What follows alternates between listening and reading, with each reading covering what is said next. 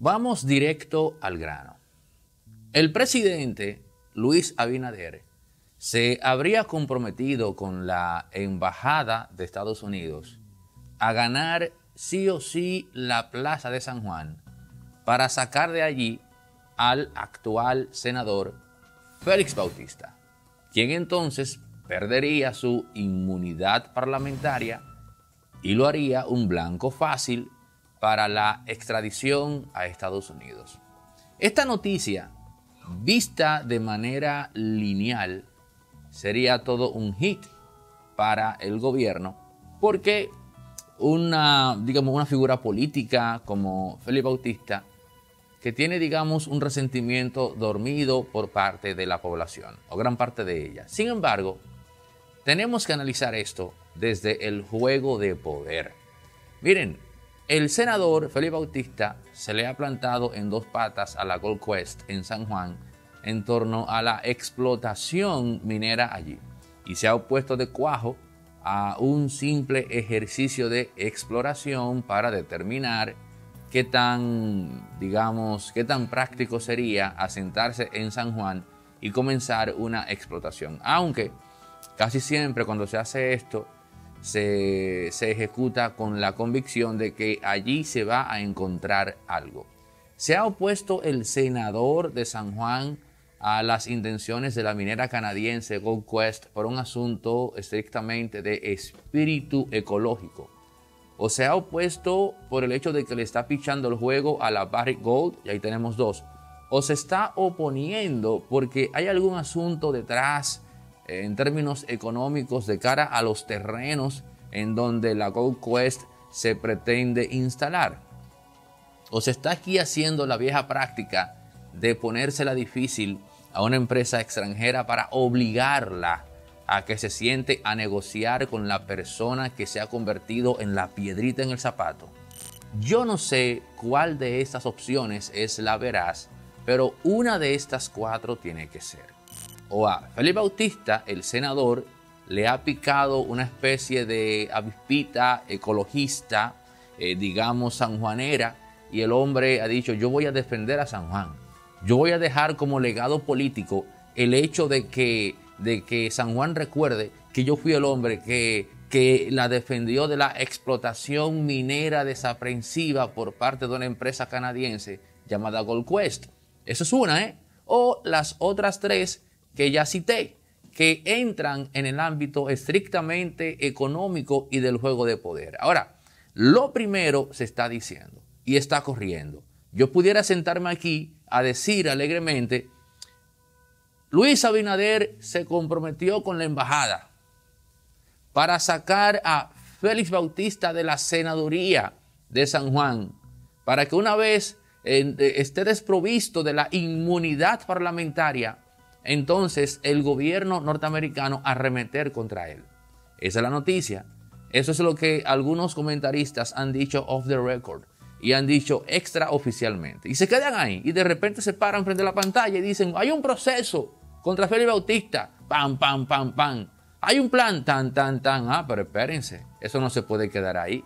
Porque entonces el conflicto que tiene actualmente ese senador con la Gold Quest, en donde ya incluso han instalado a un experto dominicano en comunicación de crisis para que comience a gestionar localmente narrativas contra el senador. Yo no puedo, como comentarista, como analista, dejar eso de lado. Yo tengo que introducirlo en la ecuación.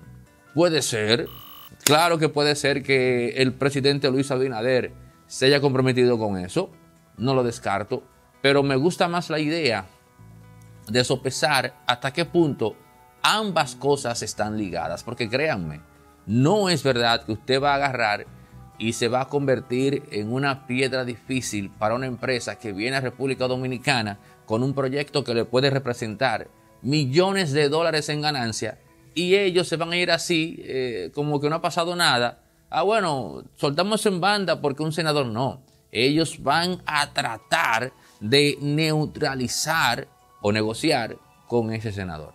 Lo que yo sé, por ejemplo, de las mineras extranjeras, basado en la información que me llegó de Barry Gold, es que a esa gente no le gusta sentarse a negociar con quien se convierte en el obstáculo. Entiéndase, oh, entonces yo para darle para allá esto, tengo que hablar con fulano y darle tantos millones. No, ellos prefieren tumbar. Ellos prefieren llevar a la lona a sus adversarios. Desconocemos por qué Félix Bautista en verdad está abrazando esta lucha contra la minera canadiense Gold. Ahora, tampoco podemos afirmar que en caso de que sea veraz, porque eso es otra cosa, ¿eh? este asunto de que hay un plan del gobierno para sacar a Félix Bautista de San Juan para entregárselo en bandeja de plata a Estados Unidos, aunque esto no se puede afirmar, en caso de que sea cierto, en caso de que sea cierto, no podemos desvincularlo alegremente del conflicto que tiene este senador con la Gold Quest. Pero además, la senaduría de San Juan ha sido tema de conflicto no solo a nivel externo, sino en el juego de poder de República Dominicana. En un momento determinado, Félix Bautista era simplemente la salvación o se presentaba como la salvación de Danilo Medina. Y de eso vamos a hablar un poco más adelante en este mismo capítulo. Mientras tanto, tiene que quedar eso. ¿Hasta qué punto? ¿Hasta qué punto en verdad al presidente le interesa eso? ¿Le ha dado continuidad a ese asunto? Porque después del dimidirete y del fuego cruzado que se ha dado entre Biden y Luis Abinader, nada más humano que simplemente desentenderse de eso, soltar eso en banda y en efecto, como ha estado haciendo el gobierno, abrazando el tema chino. Recordemos, y esto es también muy, muy importante, parece ser que la gestión de Luis Abinader se ha comprometido con el gobierno chino en el sector de las telecomunicaciones. Esto yo no lo digo porque a mí me surgió, no, lo digo porque en el fuego cruzado de San Ron, el embajador chino en República Dominicana y en el, documento de advertencia del gobierno norteamericano a República Dominicana, en ambos casos se menciona el tema de las telecomunicaciones, de las inversiones en esa área. ¿Y por qué Estados Unidos le advierte a República Dominicana sobre eso? ¿Y por qué San Ron eh, cuando responde también toca esa tecla. A mí en particular me parece más que evidente que el gobierno norteamericano tiene sospechas sobre la base de elementos tangibles y probables, o más que probables, de que se ha dado un acercamiento para que China invierta en República Dominicana en ese ámbito. Y cuando viene a ver, ahora mismo, ya, esto, ya esto que viene sí es especulativo. Cuando viene a ver, como se dice en buen dominicano, de repente Luis Abinader está reconfigurándolo todo en base a sus relaciones con el gobierno chino. Porque en su foro interno él sabe ya que la relación con la administración Biden es, por lo visto, insalvable.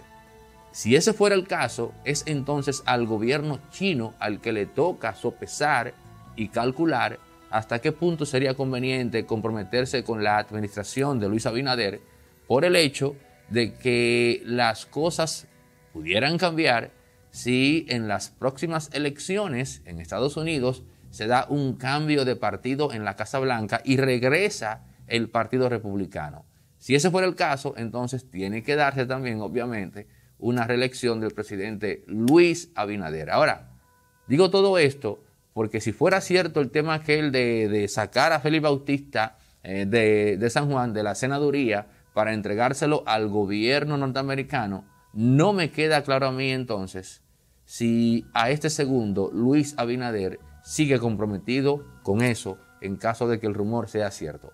También existe la posibilidad de que no sea más que una línea narrativa lanzada por la misma GoQuest. Incluso voy más lejos.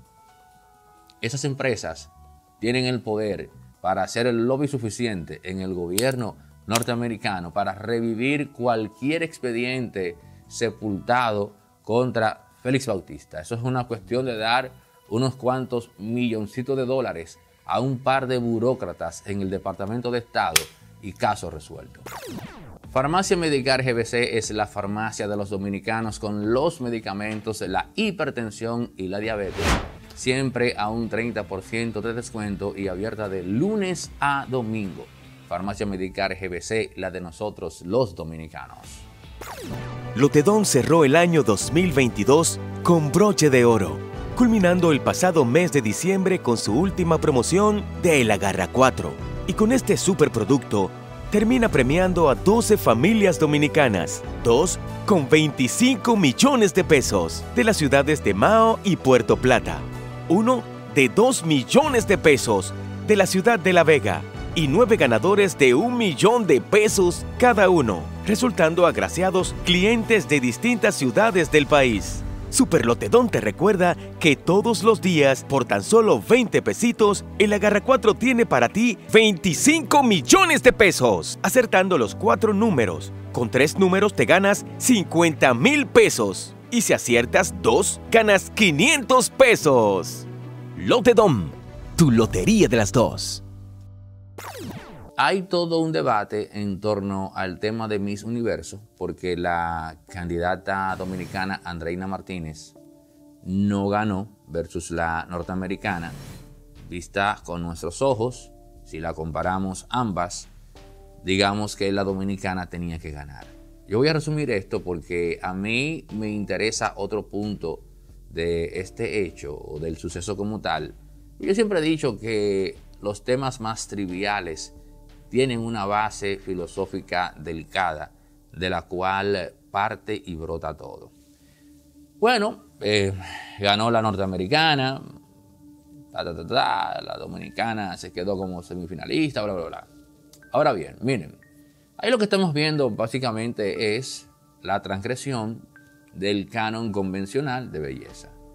Pero se ha hablado en estas últimas dos décadas eh, del tema, si se quiere, progresista, de la discriminación, del ascenso de la mujer, bla, bla, bla.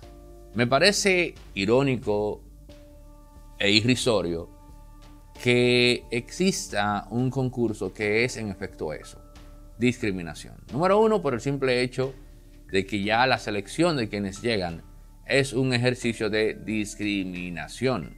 Así de simple. Pero lo más preocupante de cara a un concurso que vende la belleza femenina como un elemento, digamos, a tener siempre en cuenta en el ámbito de lo humano, lo cual es así. O sea, la belleza femenina como tal y cómo ésta influye en la cultura o en el, en el comportamiento humano.